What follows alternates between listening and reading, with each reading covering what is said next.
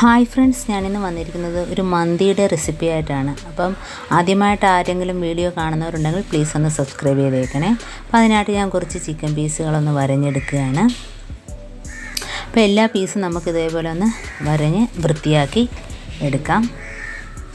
അപ്പോൾ അതിനകത്തോട്ട് നല്ല അതിന്റെ ഉപ്പും എരിവൊക്കെ പിടിക്കാൻ വേണ്ടിയാണ് അങ്ങനെ ചെയ്യുന്നത്. അപ്പോൾ അതിനകത്ത് ഞാൻ ഒരു അര ടീസ്പൂൺ ജീരകപ്പൊടിയും കുറച്ച് മല്ലിയിലയും അരിഞ്ഞിട്ടിട്ടുണ്ട്. പിന്നെ ഒരു രണ്ട് ചിക്കൻ ക്യൂബാണ് ഞാൻ അതിനകത്ത് ഇടുന്നത് അപ്പം ഞാൻ പ്രത്യേകിച്ച് ഉപ്പൊന്നും അതിനകത്ത് ഇട്ട് കൊടുക്കുന്നില്ല.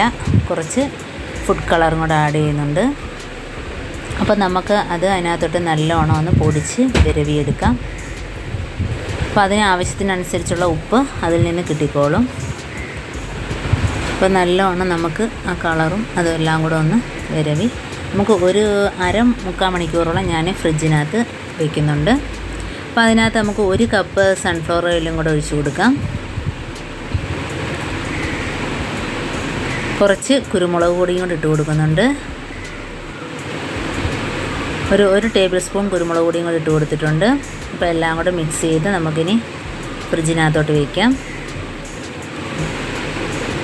അപ്പോൾ ഞാൻ അതിനായിട്ട് എടുക്കുന്നത് ബസ്മതി റൈസ് ഈ സൈസ് അരിയാണ് അത് നമുക്ക് കഴുകി വൃത്തിയാക്കിയതിന് ശേഷം ഒരു മണിക്കൂർ വെള്ളത്തിൽ ഇട്ട് വയ്ക്കാം.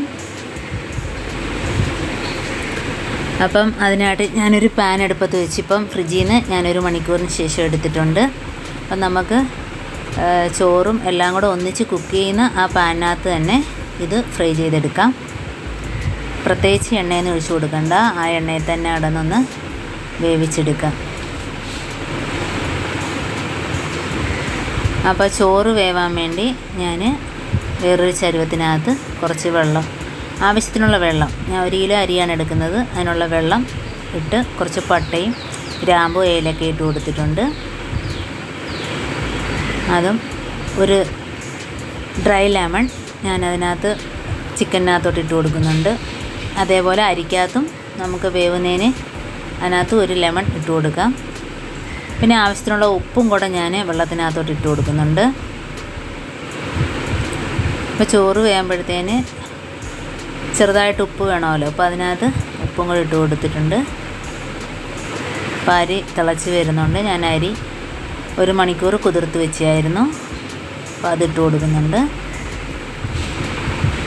നമുക്ക് നല്ലോണം വെന്ത് കിട്ടരുത്. ഒരു അര വേവിൽ വേണം എടുക്കാൻ. അപ്പോൾ അത് റെഡി ആയിട്ടുണ്ട്. ഇനി നമുക്കൊരു അരിപ്പയിലിട്ട് ഊറ്റിയെടുക്കാം. ചിക്കൻ എടുത്ത് മാറ്റിയതിന് ശേഷം ആ പാനിനകത്ത് തന്നെ ചോറെല്ലാം തട്ടിയിട്ട് അതിനകത്ത് മഞ്ഞ കളറ് നമുക്ക് ആഡ് ചെയ്ത് കൊടുക്കാം. ഞാൻ മഞ്ഞളാണ് കലക്കി ഒഴിച്ചു കൊടുക്കുന്നത്. പിന്നെ റെഡ് കളർ ഒഴിക്കുന്നുണ്ട്.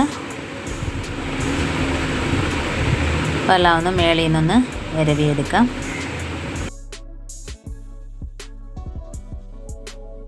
ഇനി നമുക്ക് നേരത്തെ ഫ്രൈ ചെയ്ത് വെച്ച ചിക്കൻ എന്റെ പുറത്തോട്ട് വെച്ച് കൊടുക്കുന്നുണ്ട്.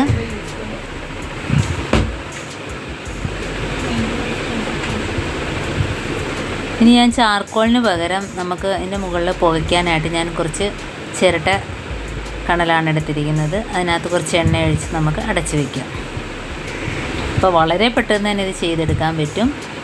അപ്പോൾ അതാണ്ട് അതിന്റെ പുകയെല്ലാം പോയതിന് ശേഷം തുറന്നിട്ടുണ്ട്. ഇനി നമുക്കതിന്റെ ചിക്കൻ പീസ് എല്ലാം എടുത്ത് പിറക്കി മാറ്റിയിട്ട് ചോറ് നല്ലോണം ഒന്ന് ഇളക്കിയെടുക്കാം.